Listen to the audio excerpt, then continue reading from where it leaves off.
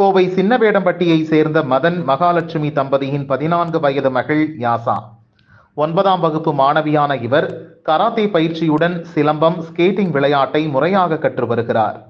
இந்நிலையில் பதினைந்து கிலோமீட்டர் தூரம் தொடர்ந்து ஸ்கேட்டிங் செய்தபடி சிலம்பம் சுற்றி சாதனை படைத்தார். போக்குவரத்து நிறைந்த வீதிகளில் சாதனை படைத்த மாணவியை பொதுமக்கள் பாராட்டினர். இந்த சாதனையை நோபல் வேர்ல்ட் ரெக்கார்ட் அமைப்பு அங்கீகரித்து மாணவி ஆசாவுக்கு பதக்கம் மற்றும் சான்றிதழை வழங்கியது.